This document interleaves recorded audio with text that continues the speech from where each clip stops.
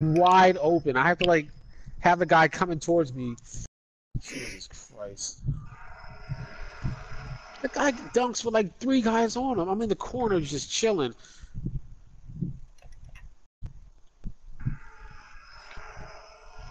Oh my god. Surprisingly, this is only a five three point game. Yeah, it's a three point game. I know. It's not the third quarter yet. It's not the third quarter yet. He, did you see what he just did there?